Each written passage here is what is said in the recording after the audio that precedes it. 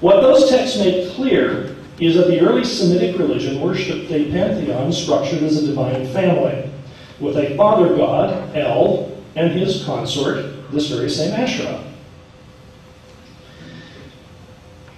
Those two are the head of a heavenly council, and you'll see Peterson synopsizes the relevant information. The council is known by various names in the Ugaritic material the assembly of the gods, the assembly of the sons of El. According to Canaanite belief, El was the creator god. Evidence strongly suggests that he was the original god of the Semites generally. As creator, however, he also stood at the head of the pantheon as the father of the gods, or the father of the sons of God, and was called the Ancient One, the Patriarch, and the Eternal One. Consequently, the gods as his sons were collectively uh, were designated collectively as the sons of El. Yahweh was the preeminent among the sons of El in the Israelite conception. The gods of this heavenly council were assigned to the gods of various nations, Deuteronomy 32 and 8. And Yahweh was the God of Israel.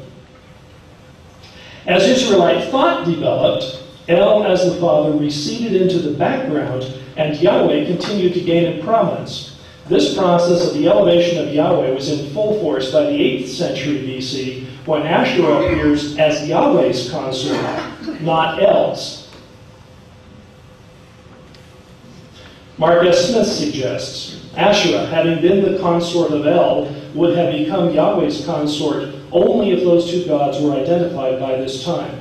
Indeed, it is evident from texts such as Isaiah's vision of Yahweh surrounded by the seraphim Isaiah 6, and especially the prophetic vision of divine council seen in 1 Kings 22:19, that Yahweh assumed the position of presider by that time. This gives us both a, an evolutionary trajectory, different kind of evolution, an evolutionary trajectory and a time frame.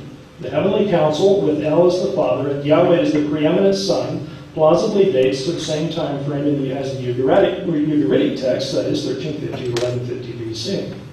After that time, there is a developing theology in Israel that increases the importance of Yahweh and elevates him to a position where he begins to take over the functions previously assigned to his celestial father, El.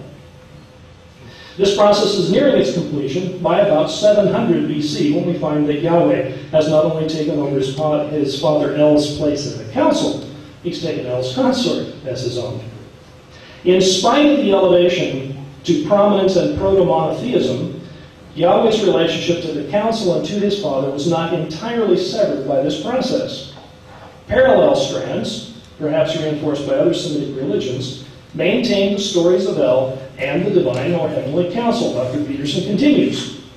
The Canaanite terminology, the assembly of the gods and the assembly of the sons of El, finds its parallel in the Hebrew Bible in Psalm 21:9-1, which has long been recognized by scholars as an Israelite adaptation of an older Canaanite hymn. Members of the council are referred to as Bnei Elim. The King James translation renders this phrase as the mighty. The same Hebrew phrase occurs in Psalm 89:6, where the King James Version has the sons of the mighty. Neither rendition is, is adequate. In both passages, the New Jerusalem Bible, to choose one of the best of the modern translations, gets things precisely right by translating the name as sons of God. Equally as important to our understanding of Yahweh and the council is the identification of Yahweh as the one who would atone as the Messiah. Margaret Barker's The Great Angel examines at length hundreds of passages and texts ranging from Jewish to Christian to Gnostic that, as she interprets them, identified Yahweh as the future Messiah and Jesus in his messianic role as equated with Yahweh. As she describes the heavenly council headed by the Father God, we're quoting Margaret Barker, Yahweh was one of the sons of El Elyon, and Jesus in the Gospel was described as a son of El Elyon, God Most High. In other words, he was described as a heavenly being. This, thus, the Annunciation narrative has the term Son of the Most High, Luke 1.32, and the demoniac recognized his exorcist as Son of the Most High God, Mark 5 and 7. Jesus is not called the Son of Yahweh, nor the Son of the Lord, but he is called Lord. For example, the quotation from Deuteronomy 6.5, which says, You shall love Yahweh your God, which is rendered in Luke 10.27, You shall love the Lord, Kyrios, your God. This suggests that the gospel writers, instead of using term Lord and Son of the Most High, saw Jesus as an angel figure and gave him their version of the sacred name Yahweh. Of course, this particular connection comes from the New Testament. Dr. Barker suggests that it was nevertheless a continuation of an old strand of thought that became obscured through the Deuteronomic reforms. Barker examines an interesting Old Testament passage about this messianic expectation that appears to have suffered some obfuscation. The clearest evidence for its survival, the anthropomorphism of God or Messiah, however, is in the widespread tradition of interpreting the word man as references to the Messiah, or of designating the Messiah simply as the man. This can best be seen by examining the various translations of the Balaam oracles, which were believed to predict the Messiah, Numbers 24 through 39, uh, 15 to 24. Thus, in Numbers 24 and 7, where the Hebrew has the curious lines, water shall flow from his buckets, and he shall overflow, or he shall rule over many nations, became in the Septuagint, and there shall come a man out of his seed, and he shall rule over many nations. While both the fragment and Pseudo Jonathan Targums have, their king shall arise from among them, and their savior shall be from out of them. Philo quotes the lines as messianic prophecy. There shall come forth from you one day a man, and he shall rule over many nations. The unanimity of both translation and targums suggests that the Hebrew may once have said something other than water shall flow from his buckets.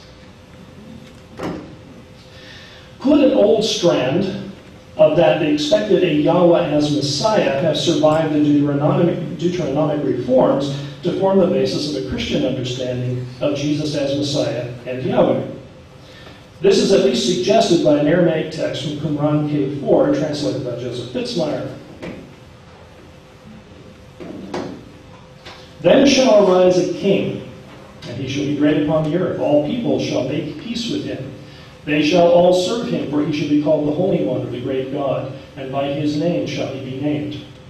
And he shall be hailed Son of God, and they shall call him Son of the Most High. This text is dated to 25 BC. At that time, it appears that there is arguably a continuation of the definition of the Messiah as the Son of God, particularly the Son of the Most High. When we reconstruct the religious climate at the time of Lehi, we find that there is no single unified theology.